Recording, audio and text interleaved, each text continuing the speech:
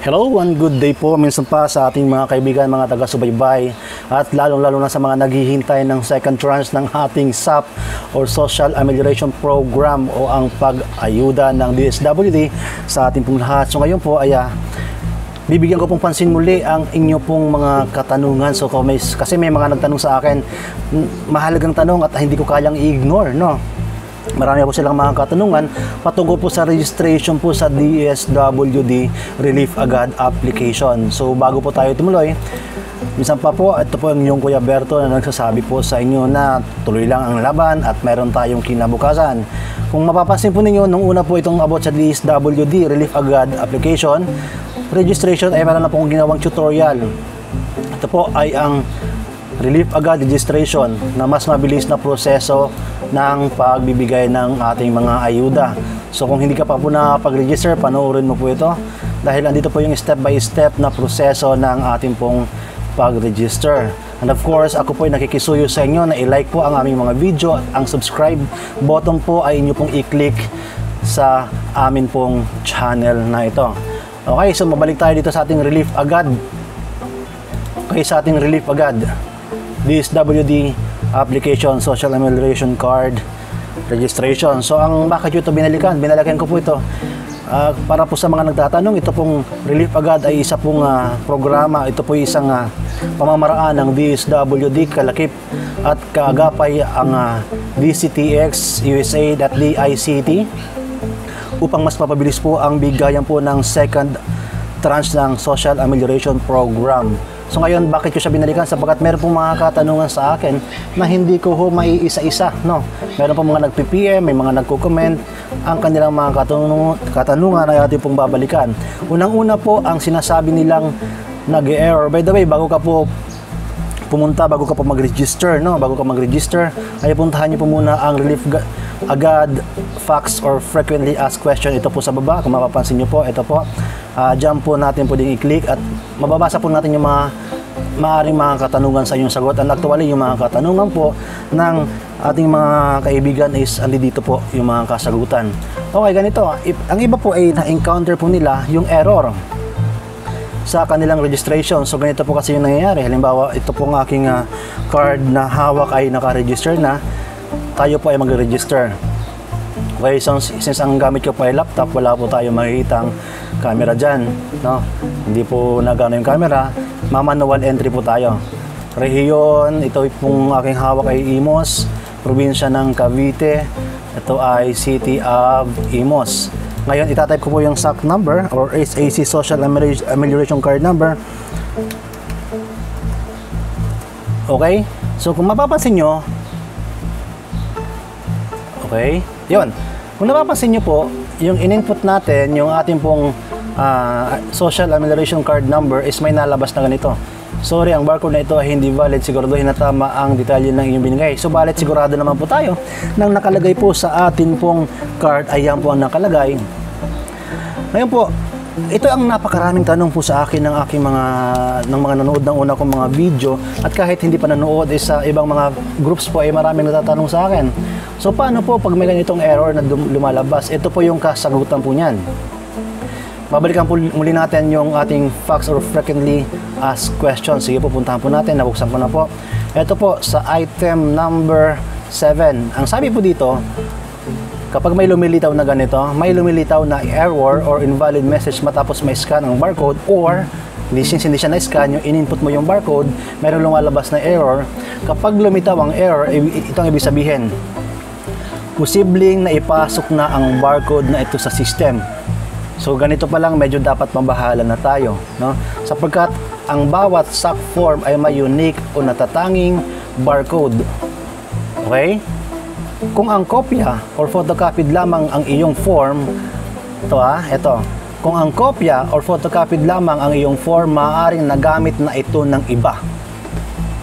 This is very alarming, mga kaibigan. So, this is very alarming. So, kasi, ang pagkuha nga is pwedeng bangko. So, maaaring, uh, I don't want to judge, no? I don't want to, pero sa akin lang tingin is, napaka-alarming nito kung halimbawa, alam ng iba yung barcode mo. Okay, so maaaring in-input lahat ng details mo Eh, ang problema is ibang number ang binigay doon, bang account number. Doon mayroon naman sinasabi dito, may provision naman dito na sinasabi na paano kapag wala kang bangko, pwede ba yung bank ng aking asawa o anak? Sabi ito, kung sakaling wala kang GCash Pema, bank account, maaari mong ibigay ang account ng iyong asawa, anak o kapatid. Pero hindi pa rin natin masigurado yung ganung bagay na yon. So again, kung ang balikan natin yung kasagutan, kapag may lumitaw na error or invalid message matapos ma-scan or ma-input or ma-type mo yung barcode, kapag may lumitaw na ganito, posibleng na ipasok na ang barcode na ito sa system posibleng na ipasok na ang barcode na ito sa system kaya dapat po tayong maalarma sapagkat ang bawat SAC form ay may unique o natatanging barcode kung kaya ang dapat natin gawin is makipag-usap o makipag-ugnayan tayo sa ating barangay or LG, LGU upang magreklamo. Again, sila mismo ang nagbigay ng panuntunan na ito na kung merong ganitong error, yung nakita nyo kanina, balikan natin saglit, may ganitong error, ay dapat ho tayong makipag-ugnayan na agad sa barangay o LGU. Okay? Itong sabi oh, kung hindi mabasa ng camera yung cellphone ng barcode, subukang i-enter ang serial number sa ilalim ng barcode upang patuloy ang pag-register ng app. Subalit kahit ginawa na natin yun is ganun pa rin nalabas, ito talaga yung posibleng kasagutan nun. Posibleng na ipasok na ang barcode na ito sa system. Kaya magmadali kayo, makipag-usap or makipag-ugnayan sa inyong barangay, OLGU upang magreklamo. Ayan. So yan mga kaibigan. So niliwanag po natin. So dapat po kayo umaksyon agad kapag mayroong ganitong pangyayari. Okay? So dapat po agad natin aksyonan yung ganito kapag mayroong ganitong pangyayari. Bakit po ako nag-jump agad dyan? Kasi ito'y napakahalaga. Kung ayaw kong makalimutan sa ating pag-uusap-usap ngayon. Okay, meron din mga tanong ng iba. Paano daw po pag wala ng barcode? Eh, wala na sa kanila yung barcode. Paano daw pag wala ng barcode? Ito may may sabi dito sa ano, may sabi sa ayun, isa pa sa mga kasagutan pala ng ano, ng isa pa sa mga kasagutan lalo na kung ang, ang hawak may photocopy, delikado po 'yan. So ito po isang reason kung bakit po nag-error pa rin. Ayun, no. Natanggap ako ng photocopy from mula sa aming barangay or LGU official. Subalit, yun yung nangyayari. Para sa seguridad nito, may unique o natatanging barcode ang bawat SAC form. Kapag photocopied lamang ang form na ito at nagamit na ito ng iba, lilitaw ang invalid barcode. So kung bakit nagkakaganito, ang barcode na ito ay hindi valid, ito ay posible isang pareho lang to actually doon sa 7.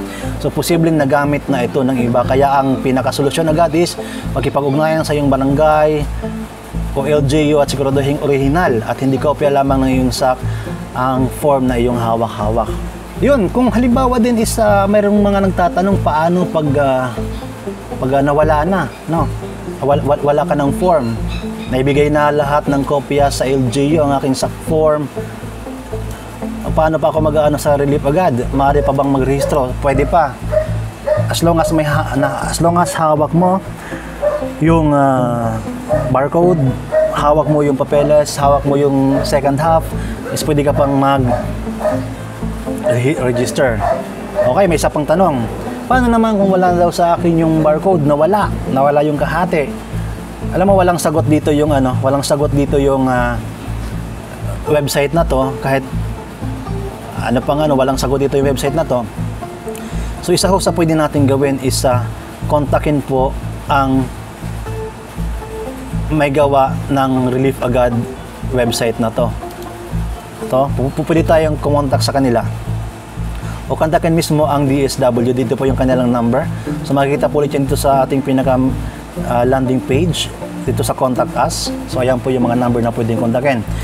So available po sila sa PLDT at saka sa lahat halos ng network at maaari din makipag-ugnayan sa kanila sa kanilang FB page. Ito po, buksan natin.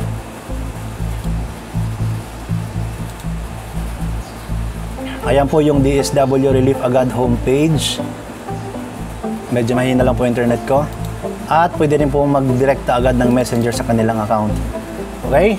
So yan ang mga pwede natin gawin. At isa pa sa mga pwedeng gawin is uh, pwede ka rin, uh, just in case, no? Just in case, uh, pwede ka rin siguro mag-try. Ito yung Balikan natin. Medyo mahina yung internet ko mga kaibigan. Pagpasa yan. Pwede kayo mag-message sa kanila. Okay, sa Relief Agad home ng DSWD. General loading. So, balikan natin. So, what if may ganun nga, no? May ganun nga na, na kaso. So, pwede ka rin makipag-ugnayan mismo sa barangay. Kung sabi kasi na, na, na nawala yung aking barcode, maaaring mayroon silang hawak pa na master list patungkol sa barcode na iyon. Okay, ito pa yung sa iba, iba pang katanungan. Hindi po ako nakasali sa sa pero sa assistance pero ako po ay qualified. Ito po ang sagot ng website na reliefagad.ph sa frequently asked question nila sa number 5. Kabilang ako dapat sa makatanggap ng cash assistance mula sa Social Amelioration Program ngunit wala akong SAC. Maaari ba akong mag-register sa Relief Agad app? Since wala kang number, wala kang barcode number, wala kang barcode, hindi ka pwede mag-register. So kung tingin mo is qualified ka, pwede kang makipag-ugnayan doon sa iyong barangay o LGU. Pwede kaya tumawag doon sa mga hotline na ating binuksan kanina.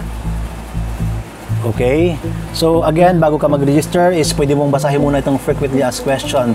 Dito, dito sa kanilang website, ang nakalagay pa po dito sa item number 1 is sa ngayon ang mga beneficiary ng SAP na nasa NCR or National Capital Region pa lamang ang maaari mag-register ng kanilang SAC gamit ang Relief Agad application. Subalit po ay uh, sa katotohanan is napakarami na sa iba't ibang lugar po, sa iba't ibang lugar sa ating bansa ang nag-register kahit wala sila sa NCR. Okay? So ibig sabihin po nito is talagang nag-register ng iba. Maging po ang ibang mga mayor po ay may post na patungkol po sa registration ng kanilang SAC. Okay? Connect lang ako ulit sa internet. Okay.